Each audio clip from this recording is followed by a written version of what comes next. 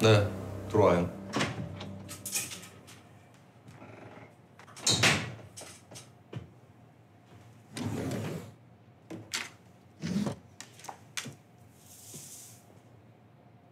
동부서 신철영 형사입니다.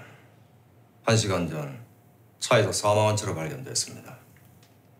주변 목격자들에 따르면 현장에 관계장으로 보이는 남자가 있었고 경찰이 도착하기 전 신혼 미상의 남자와 함께 사라졌다고 하더군요.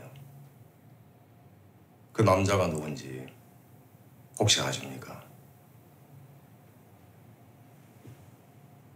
한경이가 관계장을 보호하고 싶은 심정 충분히 이해합니다. 하지만 이런 식의 행동은 사건 해결에 전혀 도움이 되질 않아요. 강동철 계장 지금 어디 있습니까? 모릅니다. 그래요?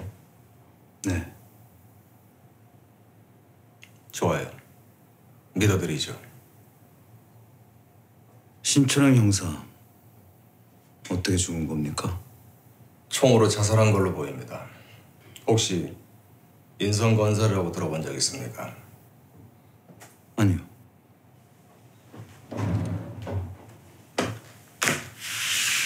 죽은 신철영 형사 집에서 나온 겁니다. 신지숙이 누굽니까? 신철영 형사 딸입니다. 인성건설에 확인해 보니까 따로 위장 취업시키고 딸 명의 통장으로 매달 일정 금액의 돈을 상납받고 있었습니다. 인성시 일대 재개발 사업을 진행하는데 편의를 봐주는 명목으로 말이에요. 그중 일정 금액이 김 과장에까지 흘러들어간 정황도 포착했습니다. 아무래도 내사나 김 과장의 죽음에 심적 압박을 느끼고 자살을 택한 게 아닐까 합니다. 강 기장이 왜 죽은 신철영 형사 현장에 나타났을까요?